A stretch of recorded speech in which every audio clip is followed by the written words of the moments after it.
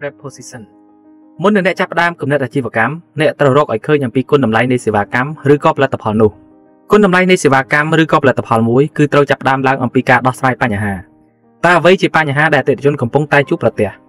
ហេតុអ្វីបានជាផលិតផលឬក៏សេវាកម្មរបស់អ្នកនឹងក្លាយជាចំណែកមួយនៃដំណោះស្រាយរបស់ពួកគេគុណតម្លៃនៃគំនិតអាជីវកម្មអាការថ្មីវាអាចថាជាការច្នៃប្រឌិតថ្មី innovation ឬបន្ថែមចំណុចពិសេសទៅលើអ្វីដែលមានស្រាប់ឲ្យកាន់តែប្រសើរជាងមុន សហគ្រិនឬម្ចាស់អាជីវកម្មវ័យក្មេងមិនត្រូវមើលរំលងបញ្ហានេះឡើយជាពិសេសកុំគិតតែពីភាពល្អឥតខ្ចោះនៃសេវាកម្មឬក៏ផលិតផលរបស់អ្នកផ្ទុយទៅវិញអ្នកត្រូវគិតគូរអំពីបញ្ហាដែលអតិថិជនកំពុងតែជួបប្រទះការយល់ច្បាស់អំពីបញ្ហាឬក៏តម្រូវការរបស់អតិថិជនអ្នកនឹងមានឱកាសច្រើនក្នុងការកសាងទំនុកចិត្តដល់ពួកគេពួកគេនឹងសប្បាយចិត្តឬក៏ពេញចិត្តចំពោះការផ្ដល់ជូនរបស់អ្នកតើកញ្ចប់សេវាកម្មឬក៏ផលិតផលអ្វីដែលអ្នកកំពុងតែផ្ដល់ជូនទៅកាន់អតិថិជនគោលដៅរបស់អ្នក គុណតម្លៃនៃគំនិតគឺជាការបង្កើតគុណតម្លៃដល់អតិថិជនគោលដៅរបស់អ្នកតាមរយៈការផ្ដល់ជូនដែលខុសប្លែកពីគេទៅតាមតម្រូវការនៃចំណែកទីផ្សាររបស់អ្នកឧទាហរណ៍តម្លៃល្អជាងគូប្រកួតប្រជែងរបស់អ្នកល្បឿននៃការផ្ដល់ជូនការរចនាផលិតផលនិងបទពិសោធន៍អតិថិជន customer experience ចំណុចទាំងអស់ខាងលើនេះអ្នកអាចយកវាមកបង្កើតបានទៅជាគុណតម្លៃថ្មីមួយសម្រាប់អាជីវកម្មរបស់អ្នកខាងក្រោមនេះគឺជាចំណុចសំខាន់សំខាន់សម្រាប់បន្ថែមទៅលើគុណតម្លៃនៃគំនិតអាជីវកម្មរបស់អ្នក ទី1គំនិតថ្មីឬក៏ការបង្កើតថ្មីគំនិតអាជីវកម្មថ្មីខ្លះគឺចូលមកបម្រើសេចក្តីត្រូវការទាំងស្រុងចំពោះអតិថិជនដែលកំពុងតែត្រូវការដែលពីមុនមកពួកគេមិនធ្លាប់ជួបឬក៏មិនដែលមានអ្នកណាផ្ដល់ជូនស្រដៀងនេះឡើយរឿងនេះកើតឡើងជាញឹកញាប់ទៅលើវិស័យបច្ចេកវិទ្យាឧទាហរណ៍ដូចជាទូរស័ព្ទដៃចូលមកជំនួសទូរស័ព្ទប្រើខ្សែទូរស័ព្ទចុចលើកញ្ចក់ចូលមកជំនួសទូរស័ព្ទប្រើប៊ូតុងចុចទី2ការរចនាការរចនាជាផ្នែកមួយដ៏សំខាន់ក៏ប៉ុន្តែវាមានកត្តាច្រើនណាស់ក្នុងការវាស់វែង ផលិតផលមួយប្រហែលជាអាចលេចធ្លោក៏ដោយសារតែការរចនាដ៏អស្ចារ្យផងដែរ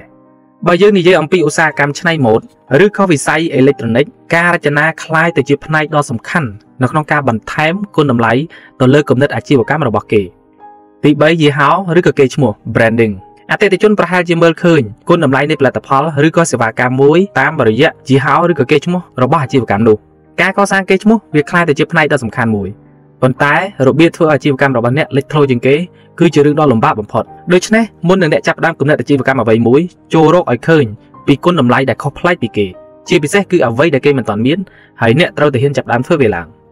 ចំណុចទី4តម្លៃការដាក់តម្លៃទាបជាងគូប្រជែងរបស់អ្នកវាខ្ល้ายទៅជាវប្បធម៌មួយដ៏សាមញ្ញទៅហើយហើយវាក៏ជាវិធីទាក់ទាញផងដែរប៉ុន្តែការដាក់តម្លៃទាបពេកក៏អាចធ្វើឲ្យប៉ះពាល់ទៅដល់ផលចំណេញនៅក្នុងអាជីវកម្មរបស់អ្នកផងដែរ ដូច្នេះមុននឹងអ្នកសម្រេចចិត្តថាត្រូវកាត់ថ្លៃប៉ុន្មានទៅលើសេវាកម្មឬក៏ផលិតផលរបស់អ្នកអ្នកត្រូវតែធ្វើបញ្ជីគណនេយ្យឲ្យបានច្បាស់ពីខ្ទង់ចំណាយដើម្បីជៀសវាងការធ្វើឲ្យខូចតម្លៃនៅលើទីផ្សារហើយចុងក្រោយអាជីវកម្មរបស់អ្នកក៏ខ្សែធនមុននឹងសម្រេចចិត្តកាត់ថ្លៃអ្នកត្រូវរកឲ្យឃើញអំពីផលចំណេញសុទ្ធ net profit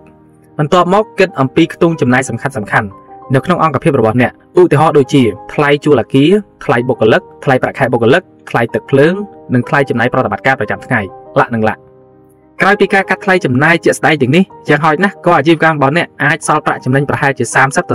40%សម្រាប់ដំណើរការអាជីវកម្មបន្តទៅមុខទៀតប្រសិនបើអ្នករកឃើញចំណេញតិចជាងនេះគឺអ្នកកំពុងតែចំណាយពេលវេលាចោលដែលចុងក្រោយអ្នកនឹងបោះបង់ហើយព្រមទាំងខាត់ពេលវេលាទៀតផងភាគរយចំណេញ30ទៅ40%នេះគឺខ្ញុំនិយាយសម្រាប់តែអាជីវកម្មខ្នាតតូចនិងខ្នាតមធ្យមតែប៉ុណ្ណោះប្រសិនបើក្រុមហ៊ុនអ្នកអាចរកចំណូលបាន cross profit រហូតដល់20ទៅ30ម៉ឺនដុល្លារក្នុងមួយខែមួយខែអ្នកអាចគិតខ្ទង់ចំណេញតិចជាងនេះទៀតបានចំណុចទី5 កាត់បន្ថយថ្លៃចំណាយ cost reduction គ្មានអតិថិជនណាម្នាក់ចូលចិត្តចំណាយច្រើនលើសលប់ទៅលើអ្វីដែលមិនចាំបាច់នោះទេខ្ទង់ចំណាយនីមួយៗគូតែត្រូវបានគិតគូរឲ្យបានល្អិតល្អន់ត្បិតថាផលិតផលឬក៏សេវាកម្មរបស់អ្នកដាក់លក់ក្នុងតម្លៃជាគូប្រជែងប្រសិនបើអ្នកត្រូវចំណាយបន្ថែមទៅលើផ្នែកនេះផ្នែកនោះឧទាហរណ៍ដូចជាថ្លៃដឹកជញ្ជូនថ្លៃវិកខ្ចប់អតិថិជននឹងមានភាពរញរាដូច្នេះអ្នកត្រូវតែយកចិត្តទុកដាក់ទៅលើការកាត់បន្ថយថ្លៃចំណាយនេះឲ្យបានល្អបំផុតចំណុចទី6 ការកាត់បន្ថយហានិភ័យ risk reduction មនុស្សភាគច្រើនមានអារម្មណ៍មិនសូវសុវត្ថិភាពតតែសោះរាល់ពេលដែលគេបញ្ជាទិញទំនិញឬក៏ផលិតផលអ្វីមួយជាពិសេសសម័យកាលអ៊ីនធឺណិតនេះព្រោះតែមានចំនួនអ្នករកស៊ីបោកប្រាស់ក៏កើតឡើងច្រើនណាស់ដែរការកសាងទំនុកចិត្តឬក៏ផ្ដល់ភាពជឿទុកចិត្តដល់ផលិតផលឬក៏សេវាកម្មរបស់អ្នកគឺជារឿងដែលអ្នកចាំបាច់ត្រូវពិចារណាឲ្យបានគ្រប់ជ្រុងជ្រោយអ្នកប្រកាសជាធ្លាប់ទិញឬក៏ធ្លាប់ឃើញផលិតផលអេឡិចត្រូនិកមួយចំនួនដូចជាទូទឹកកកម៉ាស៊ីនបោកខោអាវលាក់និងលាក់ដើម្បីធានាបាននូវការជឿទុកចិត្តពីអតិថិជន ក្រុមហ៊ុនពួកគេបានចេញបានធានារហូតទៅដល់1ឆ្នាំចុះបើប្រិយមិត្តចង់ចាប់ផ្ដើមអាជីវកម្មខ្នាតតូចឬខ្នាតមធ្យមនៅក្នុងសម័យកាលនេះតើអ្នកត្រូវរិះរកវិធីអ្វីដើម្បីផ្ដល់ទំនុកចិត្តដល់អតិថិជនរបស់អ្នកខ្ញុំសូមលើកឧទាហរណ៍មួយចំនួនអាជីវកម្មខ្លះផ្ដល់ទំនុកចិត្តដល់អតិថិជនព្រោះតែអាយុនៃស្ថាប័ននោះដូច្នេះហើយបានជាគេតែងតែឃើញមានការប្រារព្ធខូបនៃអាជីវកម្មទាំងនោះដើម្បីផ្ដល់ទំនុកចិត្តដល់អតិថិជនរបស់ពួកគេឲ្យបានឃើញអំពីភាពរឹងមាំស្ថិតស្ថេរនិងវឌ្ឍនភាពនៃក្រុមហ៊ុនរបស់គេ ដោយឡែកបើយើងក៏លេចមើលទៅរបៀបដែលម្ចាស់សហគ្រាសឬក៏ស្ថាប័នបង្រៀនវគ្គខ្លីមួយចំនួននៅកម្ពុជាពួកគេបានប្រើវិធីមួយដើម្បីសាងទំនុកចិត្តដល់អតិថិជនឬក៏សិស្សរបស់ខ្លួនតាមរយៈការផ្សព្វផ្សាយវគ្គនេះធានាថាពេញចិត្តបើមិនពេញចិត្តអ្នកអាចបង់ប្រាក់ជូនវិញនៅពេលដែលអ្នកស្ដាប់ឮពាក្យទាំងនេះហើយអ្នកក៏ចាប់ផ្ដើមមានទំនុកចិត្តខាងលើនេះជាឧទាហរណ៍មួយចំនួនដែលខ្ញុំនិយាយអំពីការកាត់បន្ថយហានិភ័យប៉ុន្តែក្នុងអាជីវកម្មនីមួយៗគឺមានរបៀបនៃការផ្ដល់ទំនុកចិត្តផ្សេងៗគ្នាប៉ុន្តែអ្នកក៏ត្រូវប្រុងប្រយ័ត្នដែរថាកុំផ្ដល់ទំនុកចិត្តខ្ពស់ហួសហេតុពេក រហូតធ្វើឲ្យផលិតផលឬក៏សេវាកម្មរបស់អ្នកស្ដាប់មើលទៅដូចជាការបោកប្រាស់ការផ្ដល់ទំនុកចិត្តច្រើនហួសហេតុពេកគឺជាវិធីទប់ទល់របស់អាជីវកម្មបោកប្រាស់ពីព្រោះអ្វីដែលពួកគេអាចទទួលបានគឺការជឿទុកចិត្តគឺគេរៀនពីវិធីធានានេះរហូតតតែយើងជឿស្លង់ទៅលើអ្វីដែលគេនិយាយការកសាងទំនុកចិត្តមានច្រើនផ្សេងទៀតដូចជាតាមរយៈការកសាងយីហោឬក៏កេរ្តិ៍ឈ្មោះនៃអង្គភាពរបស់អ្នកចំណុចទាំងអស់នេះបានចូលរួមយ៉ាងសំខាន់នៅក្នុងការកសាងទំនុកចិត្តដល់អតិថិជនចំណុចទី8 ការបង្កើតវត្តមានផលិតផលឬក៏សេវាកម្មថ្មីក៏វាជាផ្នែកមួយនៃការបង្កើតគុណតម្លៃសម្រាប់អាជីវកម្មរបស់អ្នកជាពិសេសអ្វីដែលគេមិនធ្លាប់មានផ្ដល់ជូនពីមុនមកខ្ញុំសូមលើកឧទាហរណ៍ e-book ពីដើមឡើយស្ថាប័នបកប្រែសិភៅជាច្រើនគេផ្ដល់តែសិភៅបោះពុម្ព hard copy ប៉ុន្តែការបង្កើតឲ្យមានសិភៅអេឡិចត្រូនិកនិងសិភៅសំឡេងសម្រាប់អ្នកអាននិងអ្នកស្ដាប់នៅលើទូរស័ព្ទដៃ iPhone, iOS និង Android មិនមានលក្ខណៈទូលំទូលាយឡើយការបង្កើតវត្តមានថ្មីនេះក៏ជាគុណតម្លៃមួយដែលផ្ដល់ភាពងាយស្រួលដល់អតិថិជនក្នុងការស្វែងរកចំណេះដឹងថ្មីៗដែរ ដូច្នេះតើអ្នកមានគំនិតអ្វីដែលអ្នកគិតថាសេវាកម្មឬក៏ផលិតផលរបស់អ្នកនឹងមានវត្តមានថ្មីនៅក្នុងប្រទេសកម្ពុជាអ្វីដែលអ្នកត្រូវចងចាំរាល់ប្រភេទគំរូអាជីវកម្មជាច្រើនដែលកើតឡើងមកមិនមែនអ្នកត្រូវតែគិតថ្មីសុទ្ធ100%នោះទេផ្ទុយទៅវិញអ្នកក៏បីចេះមើលឱកាសថ្មីថ្មីឬក៏គំរូអាជីវកម្មណាខ្លះដែលគេរកស៊ីជោគជ័យនៅប្រទេសគេឬក៏នៅបរទេសហើយយើងអាចនាំយកវត្តមាននៃសេវាកម្មឬក៏ផលិតផលនោះមកកម្ពុជាគំនិតអាជីវកម្មសកលខ្លះវាពិតជាជួយពន្លឿនការយល់ដឹង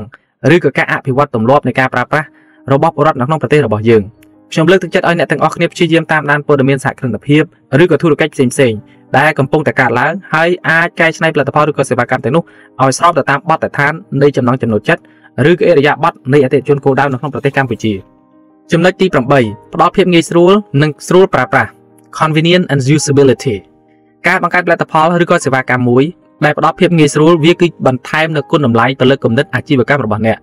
ឧទាហរណ៍ដូចជាក្រុមហ៊ុន Apple បានបង្កើតផលិតផលមួយឈ្មោះថា iPod ដែលភ្ជាប់មកជាមួយនឹងកម្មវិធី iTunes ដែលផ្ដល់ភាពងាយស្រួលដល់អតិថិជននៅក្នុងការស្ដាប់បទចម្រៀងហើយអាចទិញបទចម្រៀងនៅលើផលិតផល iPod តែមួយផងដែរ។